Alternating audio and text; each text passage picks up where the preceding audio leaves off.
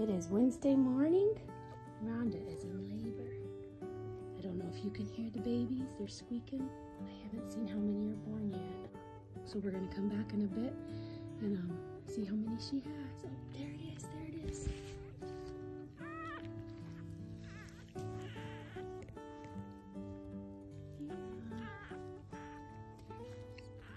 Oh, you're doing a good job, Rhonda.